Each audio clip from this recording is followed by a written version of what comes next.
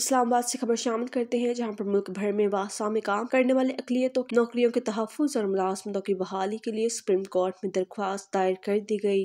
Chairman minorities rights forum Samuel Pyare की जानब से दायर दरख्वास्त में मौकफ इख्तियार किया गया है कि सुप्रीम कोर्ट ने अपने हुक्म के ज़रिए वासा सूबाई हुकूमतों और ठेकेदारों को मुलाजमीन की तनख्वाहें फ्राहम करने का हुक्म दिया था। अदालती हुक्म के बावजूद अकलीती मुलाजमीन को मुल्क के मुख्तलिफ़ हिस्सों में तनख्वाहें अदा नहीं की जा रही हैं। हैदराबाद में वासा के। 300 से जायद मुलाजमीन को नौकरियों से निकाल दिया गया सेंट्री वर्कर्स के। तहफ़ के लिए वफाकी और सूबाई हुकूमतों को कानून साजी की हिदायत भी दी जाएँ।